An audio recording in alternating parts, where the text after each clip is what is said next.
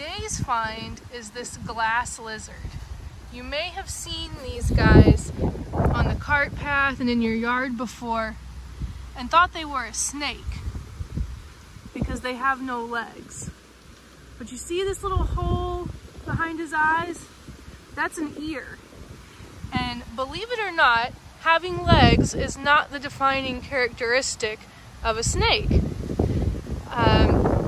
This is a legless lizard. This is our glass lizard. And we know it's a lizard and not a snake because of that exposed ear that you can see. So even though it looks like a snake, because it has no legs, got this nice long body here, this is actually a lizard because, let's see if he'll move again for me, because of the hole behind his eye.